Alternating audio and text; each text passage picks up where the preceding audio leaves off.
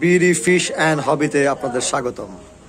আচ্ছা লাস্ট ভিডিওতে কিছুদিন আগে একটা ভিডিওতে আমরা দেখিয়েছিলাম যে আপনারা কীভাবে ঘরেই নিজেরাই এই ছোট মাছের জন্য ডাপনিয়া তৈরি করবেন। তো আই এম সো সরি এই ভিডিওটা আমি অনেক লেট হয়ে গেছে আমার করাটা বিকজ একটু পার্সোনাল ব্যস্ততার কারণে। আচ্ছা ডাপনিয়ার তৈরিটা কীভাবে করবেন, এখন আমি আপনাদের বলে দিচ্ছি। আপনারা যদি ডাপনিয়া তৈরি করেন, তাহলে অবশ্যই আপনাদের এই টাইপের ছোট কিংবা যে কোনো টাইপের, এই ধরনের ছোট একটা ট্যাঙ্ক ইউজ করতে হবে। সেই ট্যাঙ্কে আপনারা কি করবেন? আপনারা হচ্ছে বাজার থেকে খৈল যেটাকে বলে, সরিষার খৈল, এটা আপনারা যে কোনো বড় বাজারে গেলে পাবেন। এই খৈলটা যে কোনো তেল ভাঙানোর দোকানে গেলে পাবেন খৈল, খৈলগুলা। সো সেই খোলগুলো আনবেন, এনে আপনারা লাইক সামনের যে ট্যাঙ্কটা দেখছেন যে কোনো একটা ট্যাঙ্কে আপনি পানি ফুল করবেন।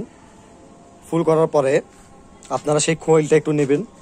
নিয়ে প্রথম দিন আপনি ছোট ছোট করে দুই তিন টুকরা খোল ফেলবেন পানির মধ্যে। তারপরে একদিন ফেলবেন, দুই দিন ফেলবেন, তিন দিন এভাবে সাত আট দিন খোল ফেলবেন অল্প অল্প করে।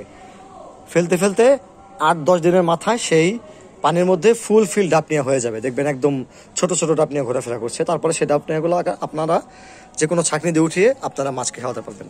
ধন্যবাদ।